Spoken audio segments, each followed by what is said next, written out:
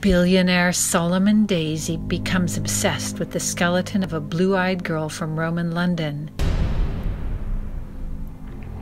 He invents a time portal so that he can investigate. Trouble is, for every hour spent in the past, your life gets shortened.